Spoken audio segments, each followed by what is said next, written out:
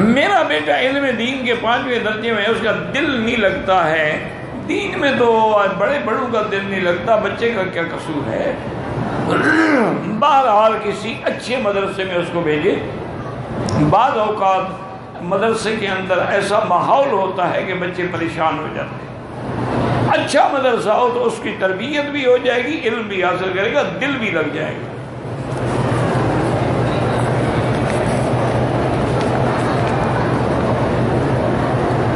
मैंने अपनी बीवी को पहले फ़ोन पर कॉल करके तलाक का बोला।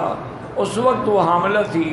उसके बाद मैंने जिस जब डिलीवर हो गई, फिर मैंने बाकायदा पेपर पर तलाक दी। वो भी एक दी थी। बात यह है कि अगर तुमने तलाक दी है एक, चाहे वो हामला थी, तलाक हो जाती है। फिर तुमने रजू कर लिया ठीक है। नहीं किया तो अब निकाह कर लो दोबारा। क्योंकि एक तलाक रज़ी होती है, लेकिन मुद्दत के अंदर तो रजू कर सकता है, निकाह की भी ज़रूरत नहीं होती। जब वो मुद्दत गुजर गई, हम निकाह कर लो। बाकी हमल में तलाक देना गुनाह है। ये नहीं कि होती नहीं, तलाक तो हो जाती कुछ लोग कहते हैं कि आप अपने आप को हनफी क्यों कहते हो? मोहम्मदी कहें। मुझे बताएँ, किसी साहबी ने अपने आप को मोहम्मदी कहा है? एक का नाम दिखा दें आप। हिम्मत करें, ढूंढें, तलाश करें। अल्लाह के बंदे, जिस आदमी ने जो फ़िका पढ़ी है, उसकी तरफ़ नस्बत करता है। जैसे आपसे कोई पूछे जी आप कहाँ से हैं? आप कहेंगे, जी, मैं इंडियन हूँ, मैं पाकिस्तानी हूँ, मैं बांग्लादेशी हूँ।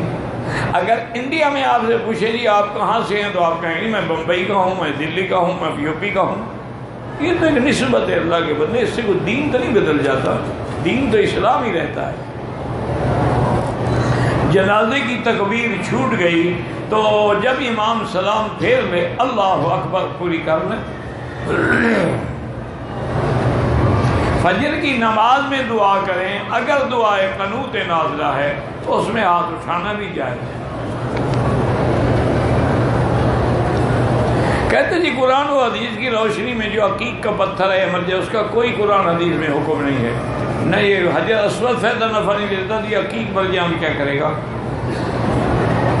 वो तो हज़रत उमर ने हज़रत हजर असवद को फरमाया इन न हजर पत्थर हो तुम, ला वाला है तो न नफा देते हो न नुकसान देते हो। हजूर ने बोसा दिया तो हम बोसा दे रहे हैं। बाकी अंगूठी वाला हकीक मर जाए क्या फ़ायदा देगा? ये भी कोई फ़ायदा नहीं देता। दीन सीखना बिल्कुल जो है तलबुल इल्म फरीजत कुल्ल मुस्लिम व मुस्लिम मुस्लिमतिन। यानी इल्म हासिल करना तो फ़र्ज़ है।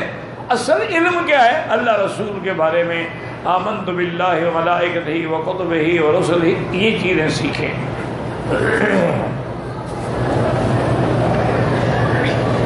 खुदकुशी करने वाले की नमाज़ जनाजा बिल्कुल पढ़ सकते हैं, कोई मना नहीं है।